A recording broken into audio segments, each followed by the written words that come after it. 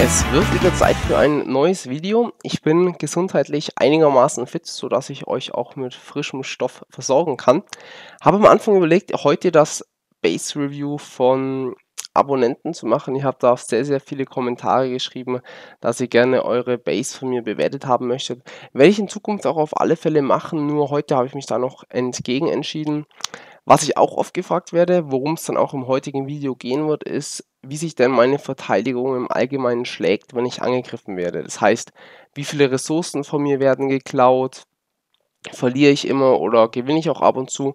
Und hierzu möchte ich mit euch jetzt einfach ein paar Logs durchgehen, die die letzte Zeit passiert sind. Ihr wisst, nach einer gewissen Zeit werden die leider schon die Wiederholungen gelöscht. Es sieht insgesamt, man, wenn man es mal so durchschaut, habe ich immer verloren momentan ganz klar, wenn wir zurückschauen, hier mein Rathaus steht draußen. Das heißt, jeder ähm, zerstört eigentlich im ersten Schritt das Rathaus. Ganz, ganz selten haben wir mal einen Sieg zwischendrin, wenn jemand nur auf die Ressourcen ging.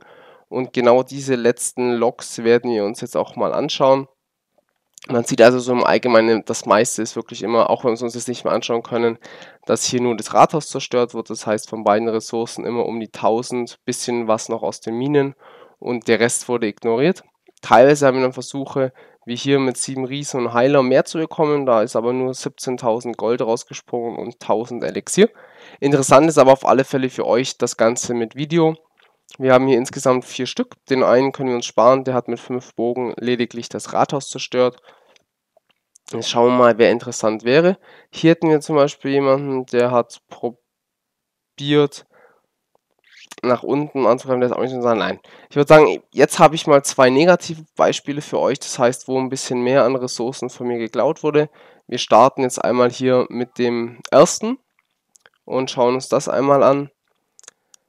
Daher hier oben fängt er an mit ein paar Barbaren. Meine Clan-Truppen kommen dann auch nach draußen.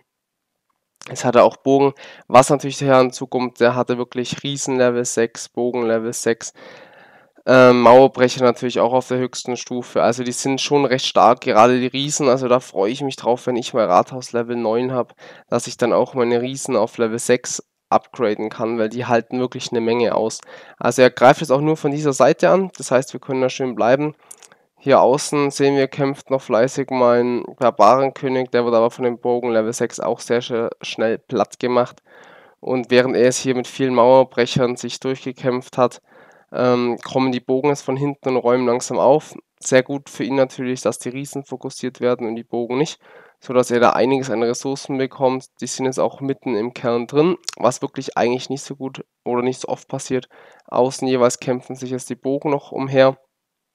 Und jetzt am Ende kommt er dann sogar noch mit ein paar Goblins, um das Maximale an Ressourcen rauszuholen.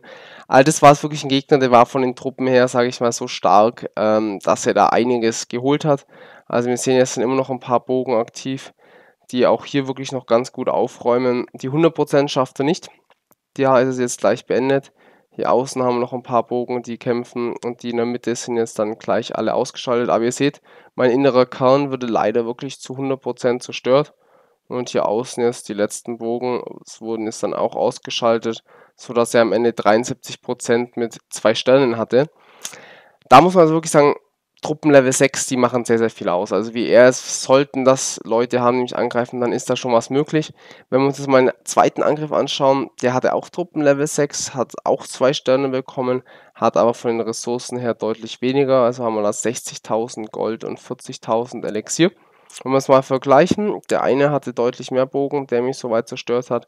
Barbarenkönig haben sie beide, Riesen haben sie die gleiche Anzahl, Mauerbrecher fast identisch. Und er hat jetzt aber nur viel mehr Bogen, den wir uns jetzt anschauen. Und hat keine Barbaren und keine Goblins mehr. Wie gesagt, er war in Ressourcen etwas überschaubarer, fängt auch natürlich hier oben an wie die meisten und zerstört erstmal mit Bogen Level 5 mein Rathaus. Das heißt, das können wir ganz kurz beschleunigen, während ihr das laufen lässt. Den Rest ignoriert er soweit erstmal. Und jetzt gehen wir wieder zur normalen Geschwindigkeit. Das fängt er an, hier oben seine Bogen außen herumzusetzen. Das heißt, von den Riesen bisher noch keine Spur. Jetzt kommen die aber, hat er auch alle auf einmal hier unten reingesetzt, gefolgt von einer ganzen Horde an Mauerbrechern, seinen Clan-Truppen. Mauerbrecher waren großer Fail. Die wurden direkt alle zerstört durch ein schönes Geschütz von meinem Minenwerfer. Jetzt hat er hier noch einen Heilzauber dazu, dass die Riesen sich durch die Mauer hindurchkämpfen können und hat aber jetzt leider alle acht Mauerbrecher, die er dabei hatte, auf einmal verbraten. Ihr seht, die Bogen wurden auch sofort platt gemacht, das heißt, die Riesen müssen sich jetzt selber durch die Mauer kämpfen, sind jetzt durch die ersten durch. Er hat den Heilzauber, aber ihr seht trotzdem, die werden hier von allen meinen Geschützen bombardiert und haben wirklich wahnsinnige das Leben, beziehungsweise einfach eine gute Rüstung sozusagen. Also auf die freue ich mich wirklich sehr, sehr. Auf die Riesen Level 6 sollte ich die dann haben. Das wird so mein erstes Ziel sein, wenn ich Rathaus Level 9 habe, was Truppen-Upgrade angeht. Wahrscheinlich sogar noch vor dem Bogen, weil ich finde, die Riesen Level 6, die machen wirklich einiges aus. Also ihr seht wirklich, die hatten jetzt zwar zwei ähm, Heil-Zaubersprüche auf sich, aber die werden hier nonstop attackiert und bekommen kaum einen Schaden. Ein paar Bogen sind jetzt noch da, die mein eines Goldlager angreifen. Die Riesen ist ähm, dummerweise für ihn haben sich gesplittet. Der eine greift die Mauer unten an und wird es gerade platt gemacht. Und die anderen fokussieren jetzt hier oben noch die Kanone. Aber alles in allem war er wirklich deutlich weniger erfolgreich als der davor. Zum einen natürlich ganz klar wegen dem Mauerbrecher-Fail, die am Anfang sofort alle durch eine Kugel aus meinem Minenwerfer platt gemacht wurden und man sieht, er war es nicht ganz so erfolgreich. Also im Allgemeinen kann man sagen, was wichtig ist, dass ihr wirklich die Verteidigungseinheiten, wenn ihr denn meine nachbaut, schnell upgradet, bezüglich was sehr effektiv ist, ganz klar sind die Minenwerfer als erstes. Dann der Magierturm macht sehr, sehr viel Sinn und auch allgemein die restlichen Verteidigungseinheiten sollen natürlich geupgradet werden, sodass man da möglichst einen Schutz hat und auch sehr, sehr sinnvoll, das lasse ich momentan etwas schleifen, da der Fokus jetzt wirklich auf der Verteidigung liegt, sind eben die Mauern. Also ich habe den inneren Kreis jetzt hier auf Level 7, außen ist noch alles auf Level 6. Ein Upgrade kostet halt leider 200.000, wird später immer teurer. Ähm, mein Vorgehen jetzt, also ich habe es geschafft, dass alle drei Magiertürme auf die aktuell höchste Stufe bei Ratus Level 8 geupgradet werden, wäre einmal hier, der ist schon auf 6, der hier unten braucht noch 4 Tage und 4 Stunden, der hier braucht noch 2 Tage und 5 Stunden und hier oben habe ich jetzt momentan meine letzte Kaserne auf Level 9. Ihr seht, ressourcentechnisch schaut es auch gut aus, knapp 3 Millionen Gold und 1 Million Elixier. Sobald hier die Kaserne fertig ist, geht es weiter. Im nächsten Schritt werde ich alle meine Teslas auf Level 4 bringen. Die sind momentan alle auf Level 3. Werde sie wahrscheinlich im gleichen Zug dann auf Level 5 danach upgraden. Es wird eine halbe Million teurer. Und dann im letzten Schritt wahrscheinlich auf Level 6. Danach werde ich dann meine Bogentürme noch alle auf Level 10 machen.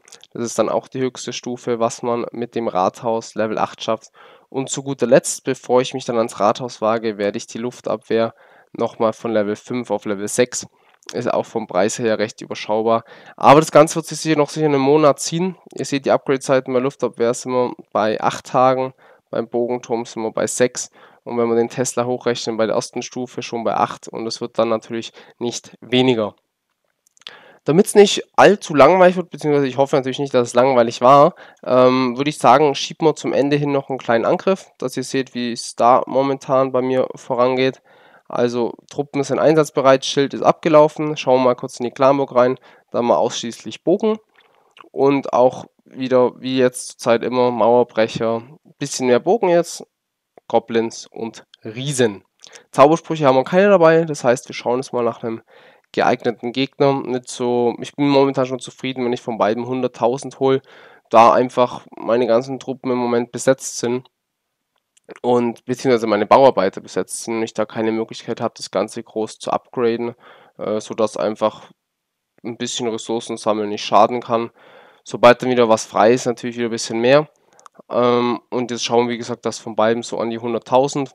Bezüglich dunklem Elixier wird es als nächstes den Riesen, den Barbarenkönig Level 6 geben, da die ähm, Bogenschützenkönigin noch nicht in Frage kommt, weil einfach mein Rathaus noch auf Level 8 ist und nicht auf 9. Und da sich das Ganze eh noch ziehen wird, bis es dann auf Level 9 ist, lohnt sich doch soweit mein dunkles Elixier und upgrade meinen Barbarenkönig. Könnte auch die dunklen Truppen upgraden, aber da ich die im Moment wirklich gar nicht benutze, ähm, ist es nicht so interessant. Jetzt schauen wir mal, hier hat man jemanden mit 75. Wir könnten probieren, ihn komplett zu zerstören. Dann könnten wir im gleichen Schritt, wo ich auch gerade dabei bin, ein bisschen auf die Pokale gehen. 23, das hört sich eigentlich ganz gut an.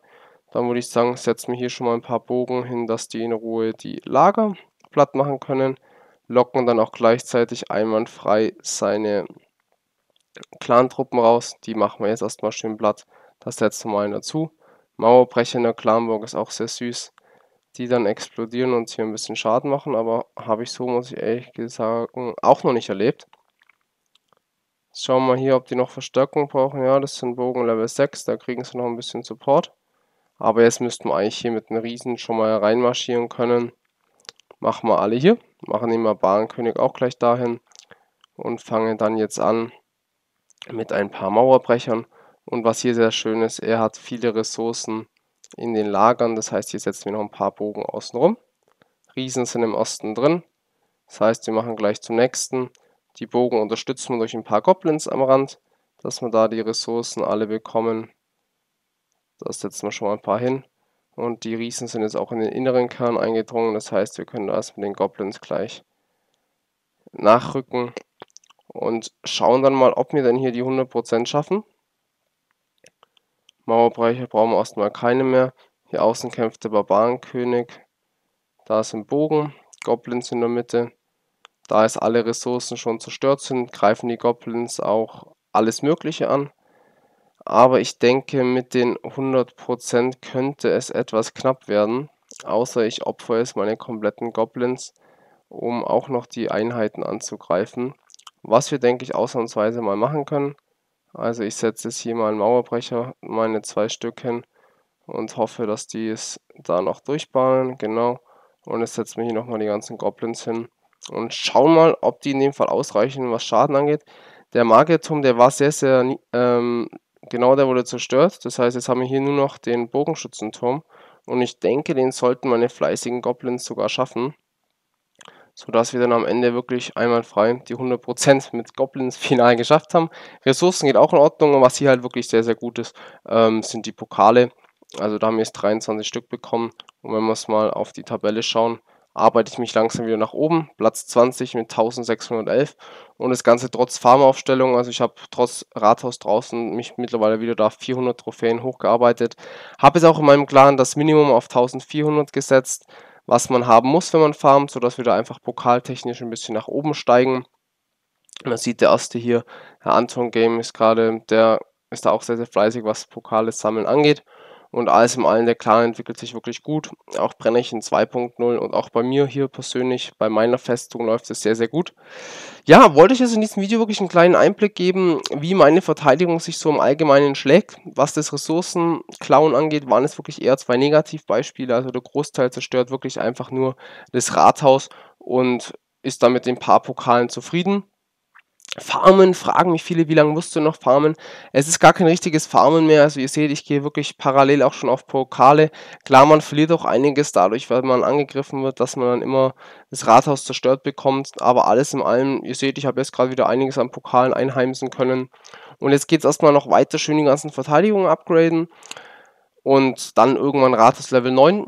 Ich hoffe, euch hat das Video gefallen und würde mich natürlich wie immer sehr über einen Daumen hoch und euer Abo freuen. Könnt natürlich auch wie sonst immer gerne meiner Facebook-Seite ein Gefällt mir da lassen, Brennerchen COC. Oder auch den Clans, die ich euch hier natürlich auch nochmal einblende. Nächste Video, lasst euch überraschen, vielleicht mache ich da schon die Besichtigung von dem einen oder anderen User. Wenn ihr da also Interesse habt, dass ich eure Festung mal anschaue und bewerte, am besten einfach hier unter das Video nochmal einen Kommentar schreiben mit eurem Namen in Clash of Clans und in welchem Clan ihr seid, sodass ich mir das Ganze einmal anschauen kann und dann, wer weiß, vielleicht euren Clan bewerten kann. Wünsche euch noch ein schönes Wochenende. Viel Spaß weiterhin beim Clashen und bis zum nächsten Mal. Ciao.